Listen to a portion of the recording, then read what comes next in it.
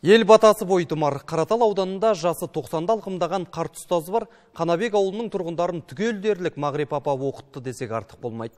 Қазандағы қос мерекеде ардагер ұстаздың еңбек еленіп, еңбек медалімен марапатталды.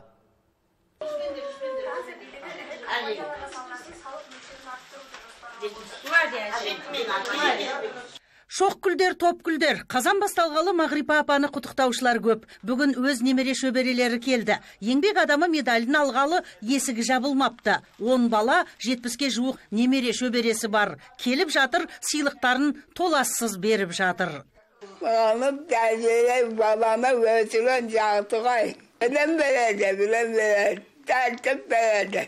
Балым, келінімді балым, Ұстаз аса қадірлі мамандық, бәрі сыйлайды. Әлі күнге шәкірттерім іздеп келеді, бұдан асқан бақыт бар ма дейді апа.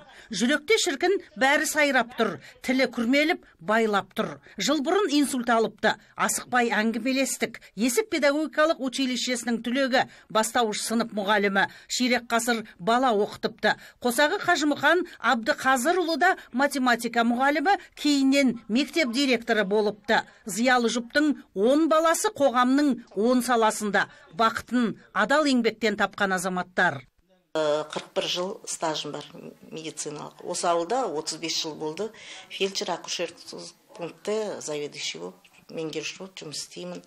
Анамыздың үйреткенімен ауылымызға еңбегімізді сіңіріп жан жағымызға көмегімізді жасап анамыз бен әкемізден алған тәрбиемізді қазір ауылымызға жасап жатырмыз Бұл әулетте бірнеше буын ұстаз апаның қара шаңыраққа ие ұл келді де Қанабек орта мектебінде мұғалім. Немерелерінен де педагогикалық мамандық таңдап жатқандар бар. Қуантарлығы әулеттің жас буынында математика, физика, информатикаға жүйріктер көп көрінеді. Ұрпақтарым мемлекет дамуына үлес қосатын ғалымдар болады дейді ардагер ұстаз. Бата сайын заман тыныштығын, ел амандығын, ұрпақ сауаттылығын тілеп отырады. Білімді ұрпақ ел болашағы. Гүлжанат мақұлжанова жасұлан шымкенше жетісу телеарнасы.